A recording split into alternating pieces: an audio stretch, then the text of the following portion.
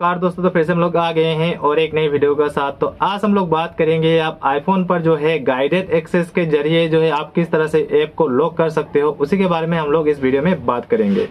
तो चलिए शुरू करते हैं, देखते हैं किस तरह से जो है आप गाइडेड एक्सेस का यूज़ करके कोई भी एप्लीकेशन को लॉक कर सकते हो। साइड स्क्रीन पर आप देखो, मैं यहाँ पर आपको फुल प्रोसेस जो है दिखाने वाला हूँ क्या क्या आपको करना है। सबसे पहले जो है आपको अपना सेटिंग ओपन कर लेना है अपने फ़ोन का ओके तो यहाँ पर मैंने सेटिंग ओपन कर लिया। सेटिंग ओपन करने के बाद आपको जो है यहाँ पर स्क्रॉल डाउन करना है। स्क्रॉल डाउन करके यहाँ पर आपको मिल जाएगा एक्सेसिबिलिटी ओके तो होम स्क्रीन का ठीक नीचे में आपको यहाँ पर मिल रहा है एक्सेसिबिलिटी तो आपको इसी पर क्लिक कर देना है। यहाँ पर क्लिक करने के बाद जो है आपको स्क्रॉल डाउन करके नीचे आ जाना है और यहाँ पर आपको मिलेगा गाइडेड एक्सेस का ऑप्शन देखिए लास्ट में जो है आपको यहाँ पर लास्ट से तीन नंबर वाला जो यहाँ पर गाइडेड एक्सेस का ऑप्शन आपको मिल रहा है जनरल पर। तो आपको इसी पर क्लिक करना है और इसको जो है आपको पहले, सबसे पहले ऑन कर लेना है, ठीक है? तो उसका बाद मैं आपको बताऊँगा किस तरह से लॉक किया जाता है। ओके तो ये हो गया ऑन उसका बाद आपको यहाँ पर नीचे में आ रहा है पासपोर्ट सेटिंग तो यहाँ पर आपको एक पासपोर्ट लगाना पड़ेगा तो यहाँ पर मैं, ओके तो मेरा मेरा फेस आईडी यहाँ पर ऑन है।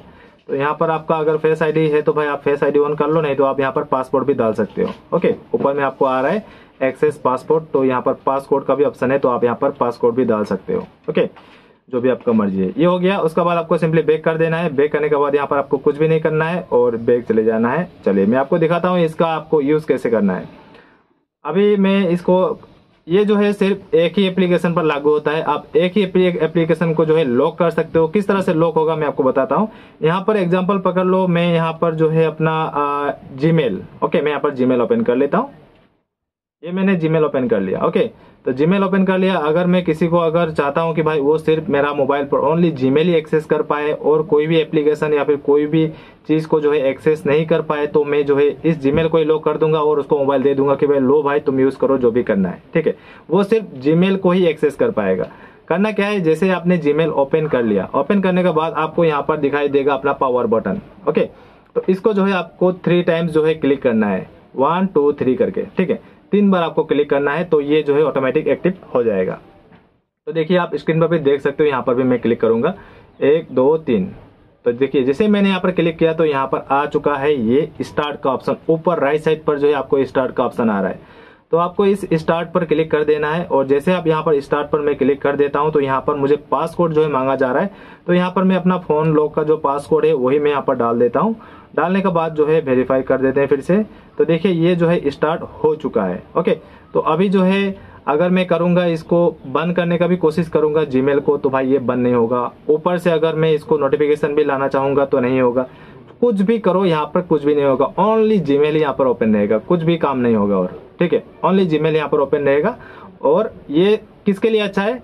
अगर आप किसी को अपना मोबाइल दे रहे हो, वो चाह रहा है कि भाई मैं फेसबुक जो है कुछ देर के लिए यूज़ करूँ तो आप फेसबुक को भी ओपन करके जो है, इसको अगर तीन बार क्लिक करके पासपोर्ट डालकर स्टार्ट कर देने से वो सिर्फ़ फेसबुक पर ही रहेगा और कहीं पर जा नहीं पाएगा।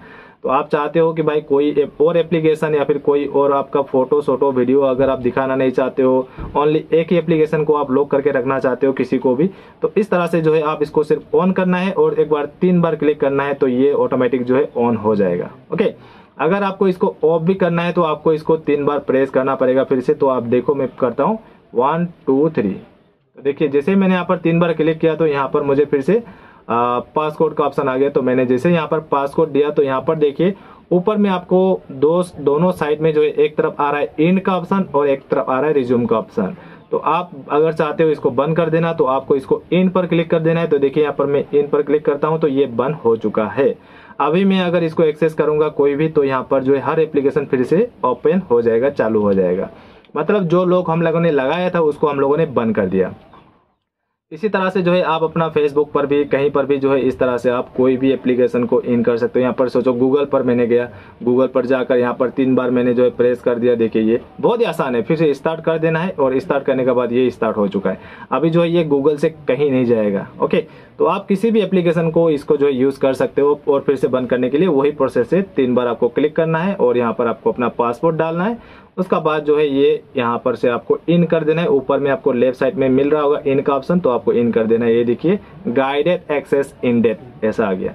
तो बहुत ही मतलब आईफोन का ये बहुत ही अच्छा जो है एक ट्रिक है तो वही चीज़ मैंने आपको यहाँ पर दिखाया है। तो तो आपको इसी तरह से यूज़ करना है और इसको यूज़ करने के बाद जो है आप अपने फ़ोन को जो है बच्चे को भी दे सकते हो, किसी और को भी दे सकते हो, एक ही एप्लीकेशन को लॉक करके। ओके तो वीडियो अच्छा लगा तो लाइक शेयर और सब्सक्राइब ज़रूर कर देना ताकि इसी तरह का जो वीडियो है आपको आगे मिलता रहे। और आपको कोई भी इशू है, कोई भी प्रॉब्लम है तो आप मुझे इंस्टाग्राम पर भी फॉलो कर सकते हो। वहाँ पर भी मैं आपको ज़रूर सहायता करूँगा। आप वहाँ पर मुझे डायरेक्ट डीएम कर सकते हो मैसेज कर सकते हो, जो भी आपका प्रॉब्लम है, जो भी आपका इशू है। आशा करता हूँ ये वीडियो आपको अच्छा लगा होगा। अच्छा लगा तो लाइक शेयर और सब्सक्राइब थैंक यू